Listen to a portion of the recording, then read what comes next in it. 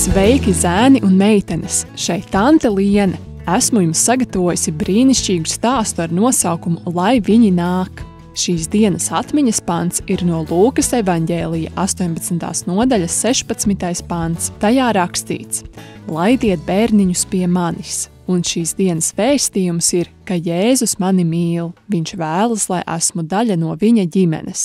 Kurš no pieaugušajiem cilvēkiem ir tev vismīļākais, neskaitot vecākus? Vai tā ir tava vecmāmiņa vai vectētiņš, tava sabatskolas skolotāja? Kad Jēzus dzīvoja uz zemes, viņš bija daudzu bērnu mīļākais pieaugušais cilvēks. Vienu dienu kāda zēna māte dzirdēja, ka Jēzus apmeklēja viņu ciematu. Viņa nezināja, kur tieši viņš bija, tādēļ pajautāja kaimiņiem. Es dzirdēju, ka Jēzus ir šeit, vai tu zini, kur viņš ir? Es vēlos, lai viņš lūdz par manu dēlu. Jēzus ir šeit, Kaimiņiene jautāja: Es iešu ar tevi, lai viņu sameklētu. Kaimiņiene paņēma uz pleciem savu mazo meitiņu un abas kopā devās ciema virzienā. Viņas redzēja vēl kāda sieva. Kur jūs dodaties? viņa jautāja. Mēs dodamies pie Jēzus, teica pirmā māmiņa.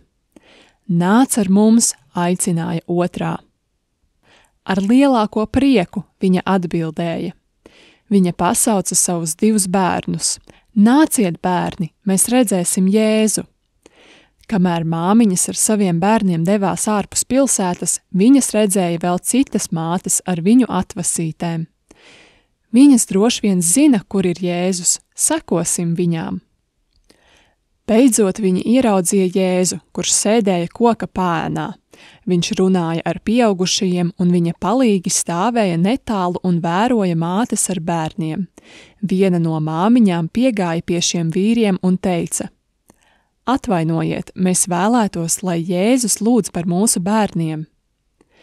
Viens no vīriem sarauca pieri un atbildēja, ka Jēzus ir aizņemts un lai viņas atnāk vēlāk. Mātes ar bērniem noskuma. Viņi sāka doties projām, bet Jēzus piecēlās kājās un runāja ar neapmierinātajiem vīriem.